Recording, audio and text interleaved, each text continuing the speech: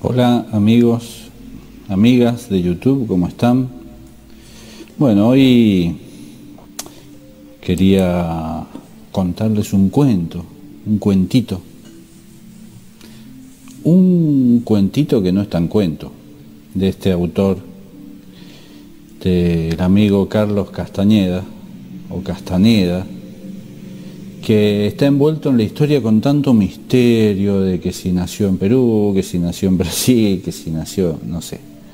El tipo nació, bueno, se instaló después en Estados Unidos y en su estudio, en sus estudios universitarios, en sus tesis, él viaja a México y en México él se encuentra con este mundo fantástico, con este mundo esotérico donde en ese lugar se mezcla y se baraja todo lo físico con lo etérico. Entonces, él que venía de un mundo físico, del mundo de la materia, del mundo normal, y de repente se encuentra con este, con este hombre, con este chamán, don Juan, que muchos dicen fue inventado por él, otros dicen no, son reales, no importa si existió o no existió lo que escribe Carlos Castañeda en El lado activo del infinito, en ese libro, 1998, es, pura poesía etérica.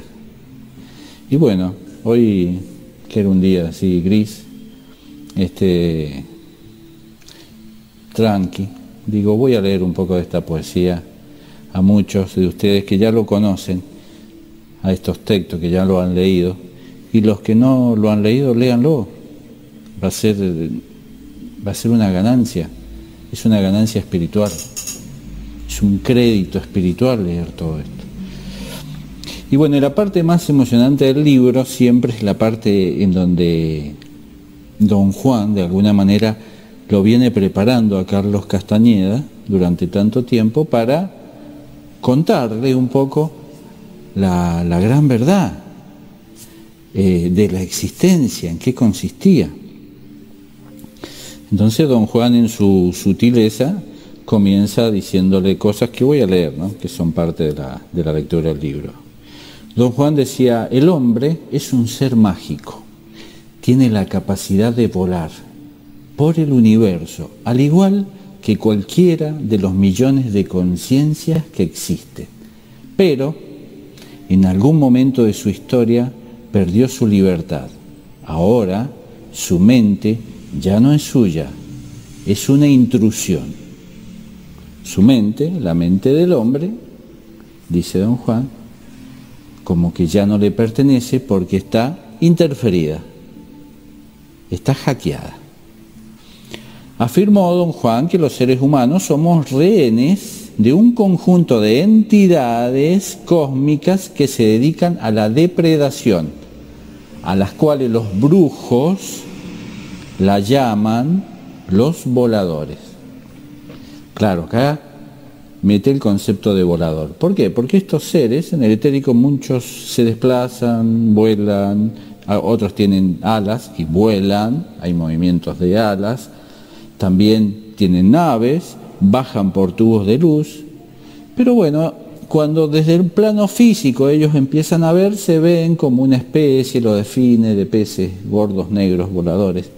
Pero en el fondo son los arcontes estos, de todas estas variedades de razas.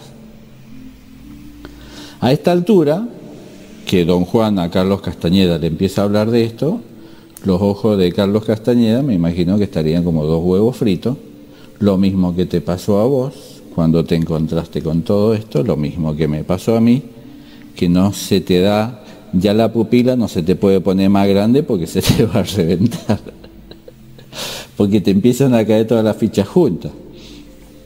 Entonces, dice don Juan, somos prisioneros de seres venidos de los confines del universo.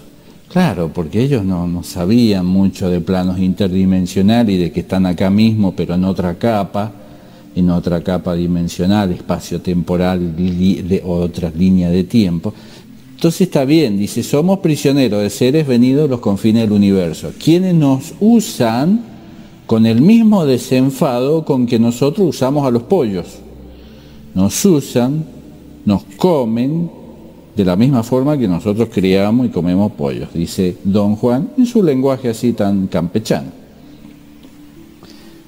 Tan campechano entre comillas, porque eh, vocabulario de don Juan es tremendo. Si don Juan existió, fue real y hablaba de esta forma, es tremendo.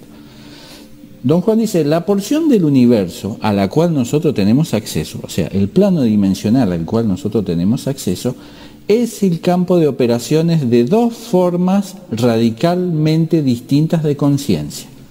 O sea, este espacio-tiempo tridimensional en donde vos tenés conciencia, operan dos formas de conciencia distintas. Y acá las enumera con claridad. Una es eh, la forma de conciencia a la cual pertenecen las plantas, los animales e incluso el hombre, es una conciencia blanquecina, joven y generadora de energía.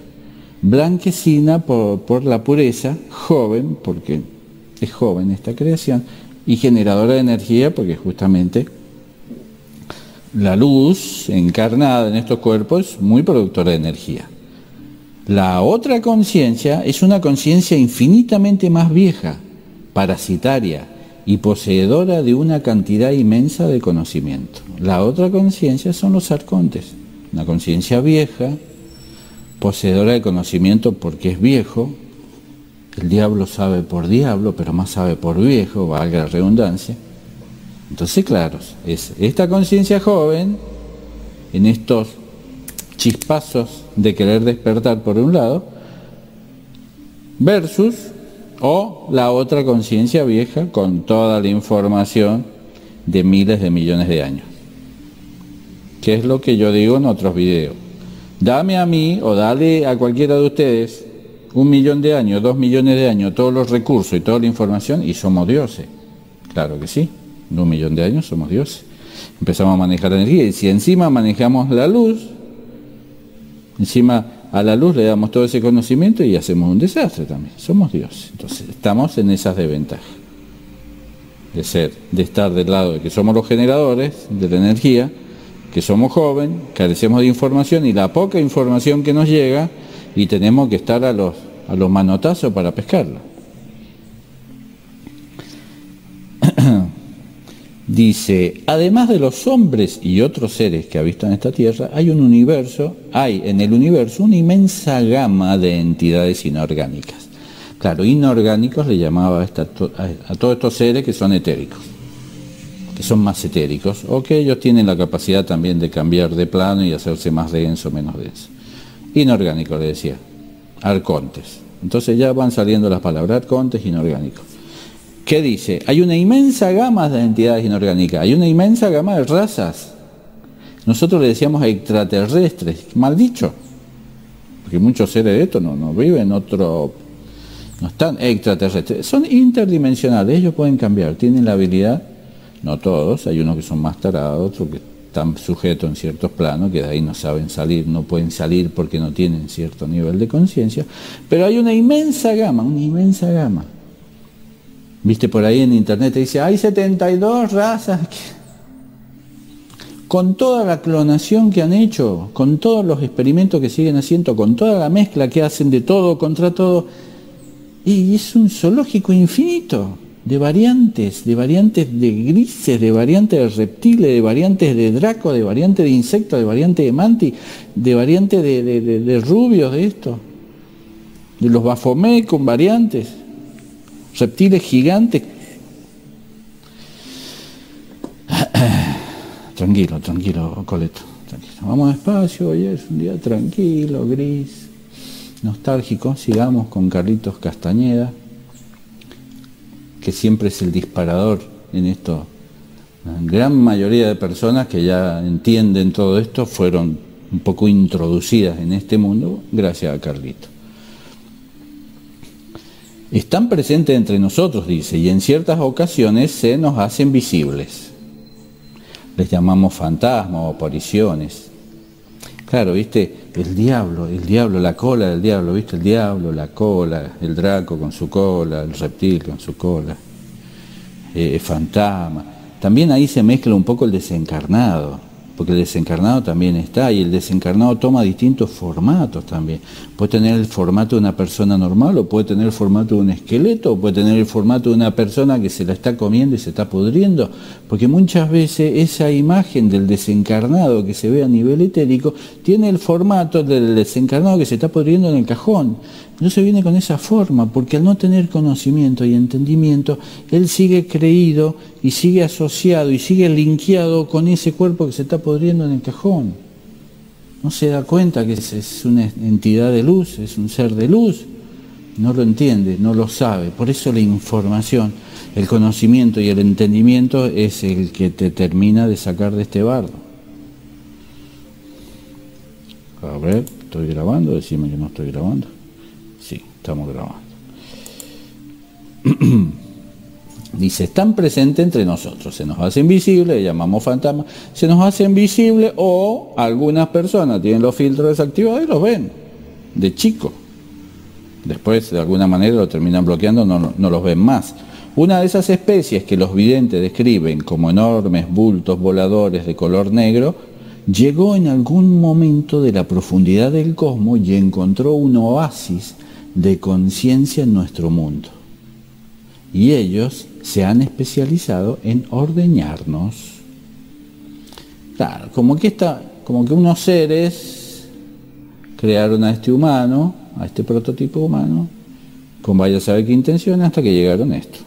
Hasta que llegaron los buitres, y parece que reventaron a los creadores, y dijeron acá hay conciencia para ordeñar, o este cuerpo humano tiene la capacidad de sostener y contener a la luz, y dijeron, de acá no nos vamos más, viejo. Esto está para... ¿Viste cuando un empresario, un hombre de negocio, ve una beta en algún lado, algo, un negocio para explotar? Dice, uh, acá hay para explotar minerales. De acá no nos vamos más de esta montaña hasta que no rompamos todo. Y no le importa tres carajos el medio ambiente, la naturaleza, no le importa nada, le importa los billetes. Tranquilo, tranquilo, que hoy es un día apacible. Así que sigamos con Carlitos. Claro, estos seres, dice, vienen de la profundidad del cosmos porque, claro, los tipos yendo y viniendo entre tanta inmensidad, suponiendo que todo esto sea real, se encuentran con esta con este bomboncito acá. Esto es increíble, decía Carlos Castañeda mientras don Juan le contaba todas estas aberraciones. Lo mismo que decía vos cuando leías todas estas barbaridades, que en una primera instancia vos dijiste, vos no creíste, lo tiraste a la basura, y después de un tiempo volviste de nuevo y tuviste ya la capacidad de sintonizar toda esta información. Entonces ya la podías procesar y te hizo, oh, y te entró la información y tu cabeza hizo y cruzó los planos interdimensionales como la explosión de una supernova. Esto es increíble, le dice Carlito. Don Juan le dice con su tranquilidad, lo sé, pero es la más pura y aterradora verdad. ¿Viste la verdad? Te da con un caño, te mata. ¿Nunca te has preguntado el porqué de los altibajos energéticos y emocionales de la gente? Le pregunta don Juan. Es el predador que viene periódicamente a recoger su cuota de conciencia. Es pura poesía es esto. Solo dejan lo suficiente para que sigamos viviendo. Y a veces ni eso, ni para eso. A veces se pasan y la persona enferma de gravedad o a veces muere. Se viven pasando, te viven comiendo, te dejan ahí. La pelea, la riña, la angustia, la ansiedad, el miedo, el odio, la ira. ¿Qué hace eso? Te, te, estruja, te estruja, te estruja, te estruja. Por ahí se pasan de mambo. Ah, se me rompió este humano.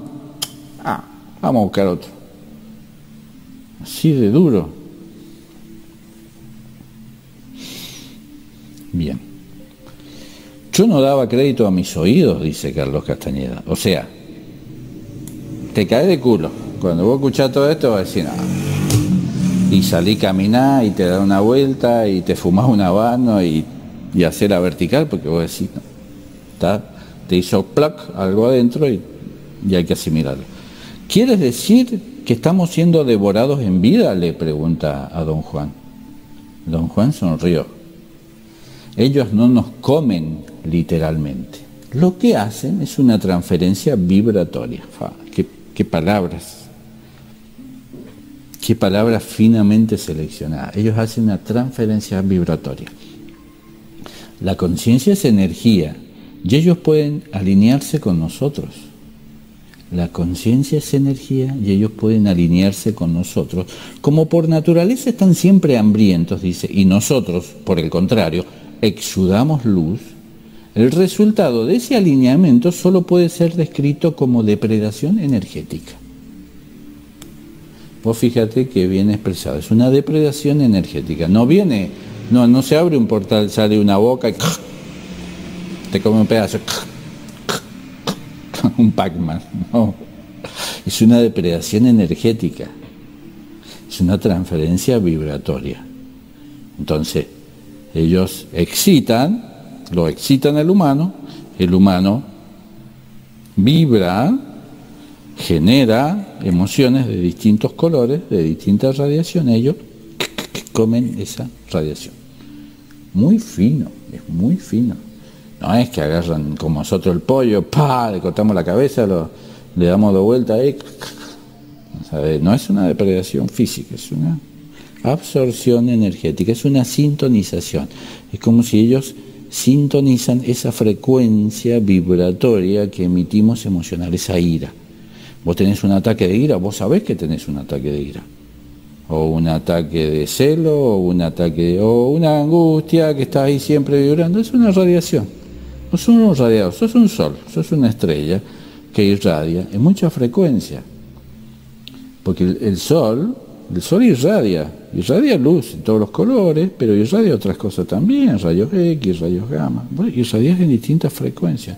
Ellos sintonizan esos sabores, eso es lo sexual. Sarasa, Sarasa, ya sabes, lo vivís todos los días una pelea, una riña, una discusión familiar, una discusión en el entorno familiar y se pone bueno. Están ellos con el pochoclo ahí. Esperando que se arme el bardo. Se arma el despelote y están todos locos. Y se ponen muy locos y no saben qué puede llegar a terminar. Discusiones familiares que terminan a las trompadas, algunos hasta terminan matándose. Imagínate una guerra Imagínate los enfrentamientos, las marchas. El sufrimiento del fútbol nomás. Que juega tu selección, está jugando tu selección como el carajo, como juega la nuestra. Y estamos todos ahí. millones, millones de pelotudos ahí, adelante del televisor y el tipo patea la Messi, mete la Messi, Messi la tira a la mierda. Y todo, todo con ese estado de estrés, de tensión, están todos irradiando, todo. Imagínate el mundial, la final, cancha llena. Encima la cancha forma, viste, de parabólica. Entonces la cancha irradia, hace un foco. Normalmente en esos focos hay un vórtice girando. A nivel etérico se ve un vórtice que... Entonces imagínate la pelea en el grupo familiar, también tenés un. Ni siquiera vienen esto. Bien, bien. Esto activan millones de años de antigüedad, de conocimiento, activan el vórtice para que chupe toda esa ira, toda esa pelea, toda esa discusión, toda esa mierda, la chupan, la llevan. Si hay mucha, cargarán los tanques para después fumársela en pipa, qué sé yo. ¿Y por qué hacen eso? Le dice Carlos Castañeda a don Juan. Está loco, ya Carlos Castañeda a esta altura ya el tipo está caminando por el techo. Porque en un plano cósmico, dice, la energía es la moneda más fuerte. Y todos la quieren. Nosotros somos una raza vital, repleta de alimento. Cada cosa viva come a otra. Y siempre el más poderoso sale ganando. O sea, el más poderoso sería el que tiene más conocimiento, el que tiene más manejo de la energía, eh, el que tiene más tiempo manejando la información y procesándola, los arcontes. ¿Quién dijo que el hombre está en la cúspide de la cadena alimenticia? Le dice don Juan. Esta visión solo pudo ocurrírsele a un ser humano. Para los inorgánicos, nosotros somos la presa. Claro, vos en la escuela te dicen, acá en la, cúspide está el humano, acá en el podio, ¡eh, ganador! Yo me los como a todos ustedes. un pelotudo parado ahí, un pelotudo que está parado en la cúspide de la los pobres animales inocentes y está parado en el fondo de la cúspide del otro nivel. Me da risa ese dibujo, pero eh, es lamentable, es lo que hay. Le comenté, o sea, le dice Carlos Castañeda don Juan, que se me hace inconcebible que entidades más conscientes que nosotros llegasen a este grado de rapiña. Está Carlos Castañeda a esta altura está indignado. ¿Cómo puede ser que los seres superiores no vengan a comer a nosotros? Y es así, lamentablemente. Vos creyendo en los seres de luz superiores, Diosito, la Virgencita, Jesucito, te está lastrando, te come, te vienen a comer. Sos el desayuno, el almuerzo, la merienda, la cena. Sos su vitamina H Dice una lagartija por ahí, ¿qué necesitas vieja? Y necesito un poco de vitamina H, para un poquito que ya te consigo. Entonces vienen acá, lo hacen calentar un, par de tarados acá en la esquina que se casi chocan, se bajaron en la ventanilla y el otro está recolectando vitamina H. H de ira, ira con H. Porque todo es así bizarro, una bizarriada todo esto. A ver. Le dice don Juan, porque claro, Carlos Castañeda, indignado, le dice que se le hacía inconcebible que las entidades más conscientes que nosotros lleguen a tener ese grado de rapiña. Y ahí nomás don Juan, ni lento ni perezoso, le dice, ¿y qué crees que haces tú cuando comes una lechuga o un bistec o un asado? Estás comiendo vida, le dice. Tu sensibilidad es hipócrita. Los depredadores cósmicos no son ni más ni menos crueles que nosotros. Cuando una raza más fuerte, dice, consume a otra inferior, está ayudando a que la energía evolucione. Bueno, eso último no sé. Porque esto está, este, esta creación del universo está hecha así. Esto fue hecho así, y vos entraste acá, y yo entré acá, y bueno, y las reglas son esas, uno se come con el otro. El más despierto come al más tarado. Y bueno, nosotros estamos tratando de dejar de ser tarado. Y nos está costando una barbaridad. Pero esto funciona así, una capa de conciencia, que supone que tiene más información, se come a la otra capa de conciencia que tiene menos información. ¿Y cómo nos consumen? Dice Carlos a través de nuestras emociones debidamente encausadas por el parloteo interior. La manija, ¿viste? Y vos te das manija, no, no pasa nada, vos estabas tranquilo, estaba todo bien y empezás, ¿viste? Ah, no, pero... Sí, ¿qué me dijo este? Ah, estás ahí en el Facebook. Venías bien en el Facebook, hasta que te pusieron una huevada. Sí, ¿y este quién es? ¿Quién me está contestando así? O capaz que lo entendiste mal, viste, el implante que tenés vos en tu interpretación, en tu vista, al leer o en tus oídos, al escucharte a vos mismo, hace que vos entiendas mal. Entonces entendiste mal y ahí salís a reaccionar, bla, bla. Y ahí te pones loco. Entonces, el parloteo interior, que es lo que dice acá don Juan. Han diseñado un entorno social de, de tal forma que estamos todo el tiempo disparando oleadas que dice, oleadas de emociones que son inmediatamente absorbidas. Claro, el parloteo interno y la manija interna y el entorno, este, este, este, esto está mágicamente escrito, diseñado. Fíjate lo que dice. El indio, para que ya vengo, que me estoy quedando sin. Me estoy quedando sin energía, se me va a apagar la nube, se va a ir todo el carajo. A ver, vamos a, depredar a la compañía, depredar la compañía eléctrica, olvídate. A eso no los depredan nada. Después te depredan a vos cuando te pasan la boleta, pero ese es otro tema.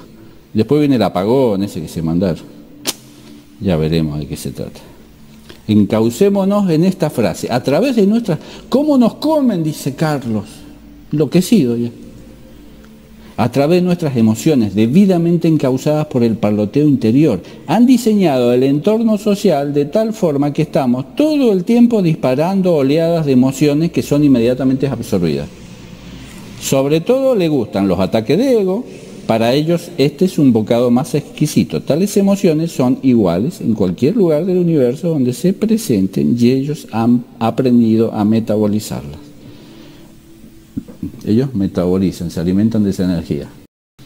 No sé, yo trato de pensar, ellos, ellos absorberán esa energía y, su, sistema orgánico eh, su sistema orgánico tratará de absorberla, supongo. Uy, me está fallando la energía. Hablo de energía y me falla la energía. Ah, es que tengo que enchufarlo. También, viste, este coleto. Ahí está. Ahora sí, estoy enchufado. Este tema de metabolizar, ellos metabolizan todos estos estados emocionales nuestros, esta radiación que normalmente vemos en las sesiones, que se abre un vórtice o que ellos crean un vórtice. muchos de ellos crean estas situaciones. Suponete la, pelea, la favorita, ¿no? la pelea, la discusión familiar, eh, porque cada casa, en todas las casas, se cuecen habas, decía la vieja. Entonces, en la discusión familiar y en la radiación de todo, ellos eh, abren tienen el portal, el, famoso remolino girando y van chupando, absorbiendo, y después la metabolizan, la, asimilarán, no sé cómo será bien, no tenemos muy claro cómo es la absorción de ellos, pero de alguna manera ellos, eh, esta vibración energética, emocional nuestra, le está ingresando a su cuerpo, a su cuerpo más sutil, ponele, y digamos que lo lo, fortalecen, lo alimentan. Eh, la verdad que desconozco de, cómo es la biología arcóntica interna, pero bueno, de a poco iremos preguntando algunas cosas. Todo, son todo un misterio estos muchachos. Algunos nos consumen por la lujuria, la ira, el temor, otros prefieren sentimientos más delicados como el amor o la ternura. Fíjate lo que está diciendo acá, el amor y la ternura también se ve que hay otra clase de seres que nosotros hemos visto, que son humanoides, ya son más, más finos, más refinados, no, son tan grotescos, más finos, más refinados, y por ahí ellos, eh, de, esa, de ese estado de enamoramiento, viste el estado de enamoramiento que uno tiene cuando es joven, parece que de ahí también toman, o de ese estado de ternura, de, ese hipnotismo, de enamoramiento, un poco me enamoro, otro poco me miento, qué sé yo Parece que de ahí también chupan un poco. Pero todos ellos están interesados en lo mismo, dice. Lo normal es que nos ataquen por la zona de la cabeza, el corazón, el vientre, allí donde guardamos el grueso de nuestra energía. Claro, te entra por los chakras. Está bien, acá no conocían el tema de los implantes y todo eso, porque bueno, eh, al no saber, al no tener conocimiento de tecnología, porque ¿cuánto tenemos de tecnología nosotros? ¿Cuándo nos nace la tecnología a nosotros? Y pongámosle cuando inventaron el transistor o cuando inventaron el chip, ponele el año 60, con toda la furia, 60. Tenés 40, 50, 60 años. Tenemos 60 años de desarrollo tecnológico versus millones de años de desarrollo tecnológico. Estamos fritos. Entonces por eso estos chamanes antiguos que iban a decir que era un implante, y bueno, y por ahí lo verían al implante, pero no se dan cuenta que es un dispositivo. Nosotros en la sesión estamos viendo dispositivos muy sofisticados, dispositivos que son como aros adentro de aros y adentro de aros que funcionan como cronómetros que van girando y que van midiendo tiempo. Y todo eso tiene una ramificación de cable que va creciendo en el cuerpo y se va instalando. Y estos cronómetros van disparando eh, impulsos, ciertos niveles de impulsos eléctricos en el cuerpo etérico, todo esto, no en el físico. Todo esto pasa a nivel etérico, se ve en el astral. Y va disparando distintas electricidades y va, y va generando distintas enfermedades o distintos malestares o, cambios de humor para que generen ciertos niveles emocionales. Una locura. Bueno, dice, atacan también a los animales, le dice, le pregunta a Carlos. Estos seres, los arcontes, usan a todo lo que esté disponible, pero prefieren la conciencia organizada. La conciencia organizada, poner, sería esto. Drenan a, a los animales y a las plantas en la medida de su atención que no es demasiada fija. Atacan incluso a los demás seres inorgánicos, solo que aquellos, si los ven y los esquivan, y aquellos, si los ven, los esquivan, así como nosotros esquivamos a los mosquitos, dice Juan. El único que cae completito en su trampa es el hombre. claro, hay otros inorgánicos, los más poderosos también también se depredan entre ellos. Pero ¿qué pasa? Los otros ya lo conocen. Nosotros hemos visto varios desencarnados, varios, que si bien no han tenido mucho conocimiento de todo este circo, los tipos saben que esos reptiles, que esos dracos, que esos seres, que los ven como son y le esquivan, saben que son peligrosos. No, no, no se acercan, andan escondiéndose de ellos, de los grises, porque ellos mismos, esos desencarnados, lo dicen. Yo le pregunto, ¿de qué te estás escondiendo? Y el tipo no quiere ni hablar, sino que señala, dice de aquellos que están allá, y por allá hay grises, hay Draco. Y después le pregunto a otros desencarnados también, que, que han sido personas muy despiertas, porque la hemos conocido nosotros en vida, en el mundo físico, y ellos dicen, no, yo no les hablo eso. O ellos tampoco me hablan a mí, como que él mismo ya eh, en su, sin, sin tener conocimiento, le, pone una barrera y dice, no, pará, a este, este no me inspira mucha confianza. Entonces esos desencarnados de alguna manera se están protegiendo. Cuando yo le digo y le explico, le digo, vos tenés que salir de acá, te tenés que ir, tenés que evitar estos seres y tenés que buscar una vibración energética de luz que sea similar a la tuya, vos lo vas a sentir, no creás en lo que te están diciendo, cree en lo que en tu luz, tu vibración por afinidad te está diciendo. Porque es la única forma de decirle que muchos dicen, no, no, pero tenés que abrirle un portal de luz y mandarlo. ¿Qué, qué vas a hacer con esa pobre mujer que era recontracristiana católica? Le voy a abrir un portal de luz. ¿De qué nivel? ¿Para qué? ¿Para que se caiga del otro lado? ¿Va a pasar de largo? ¿Va de derecho de nuevo al túnel? Porque no le da el conocimiento. Al primer angelito que se le apareció, la vieja se va a ir atrás del angelito. No, tiene escapatoria la mujer o el hombre o el que sea. Entonces no sirve. No lo puedes rescatar hasta que su mente no madure y no despierte individualmente, su mente etérica, su mente física, si vuelve a reencarnar, si ya está muerto, su mente etérica tiene que despertarse en el etérico. Y me parece que es más fácil despertarse acá en el físico que en el etérico. ¿Qué es lo que está pasando? El etérico se despierta acá y sale al rescate, eh, perdón, el, físico, el cuerpo físico, la mente, el cuerpo físico se despierta acá en este mundo, se da cuenta del engaño y sale a conectarse con la mente, con su mente etérica para un poco tratar de sincronizarse y arrimarse e integrarse, que es el trabajo que hacemos en las sesiones de visión remota ir a explicarle a esa otra mente, porque está dividida de esta mente. ¿Qué hicieron todos estos arcontes? Nos partieron por la mitad. Dejaron al físico, dejaron al etérico y una muralla en el medio, una muralla interdimensional.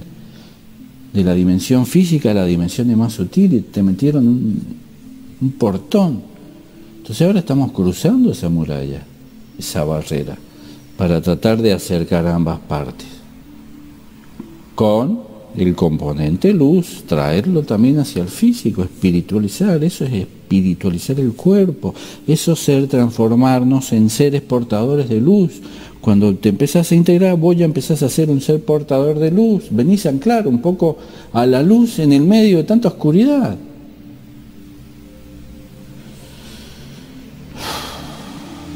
Es un trabajo faraónico, pero bueno. En algún momento hay que empezar, hay que ser persistente, todos los días un poquito, un granito de arena, como construir la pirámide, piedra por piedra, paso a paso, centímetro a centímetro. No, no hay otra, no hay otra opción. Cada mente tiene que madurar por su cuenta. No se puede ir a, a, cambiar una mente ajena, no, no podés. Lo vemos en las sesiones, cuando le hacemos sesiones a personas que son muy grandes y que han estado toda su vida creyendo en seres, rezándole a las vírgenes y todo eso, no, por más que yo le hable y le hable, le hable en el etérico, no entiende la persona, sigue viendo a los Bafomet como seres de luz,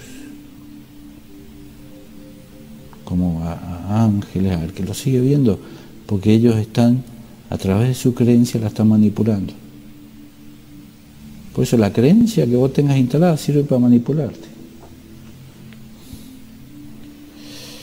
De ahí que don Malanga decía, el humano está en una situación complicada. Pero bueno, estamos viendo cómo salir.